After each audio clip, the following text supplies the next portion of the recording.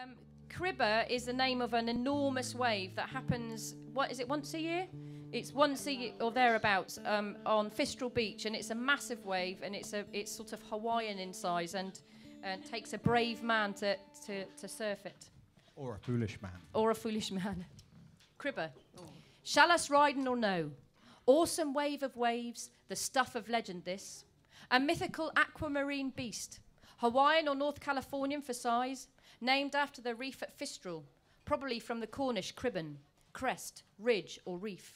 Six thousand pound per square inch, six times the power of Ali's right hand jab. They'd have followed the forecast for him, tracking the ocean from when he'll break. For the perfect cribbar, mix a low spring tide with a southeast wind. Then ride the smooth faces of the towering Atlantic.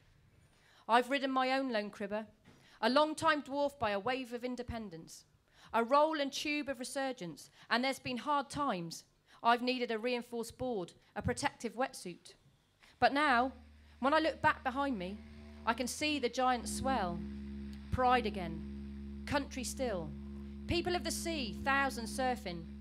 We're on a crest. Shores won't stop we.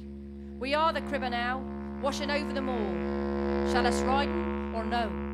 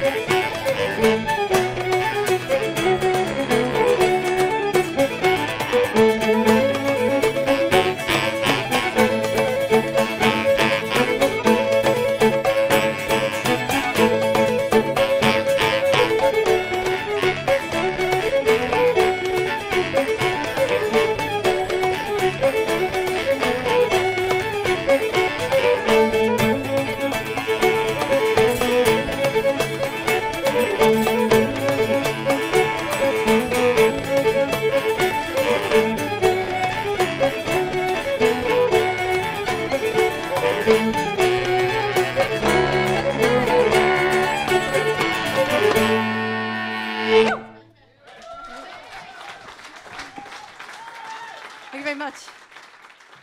Thank you very much.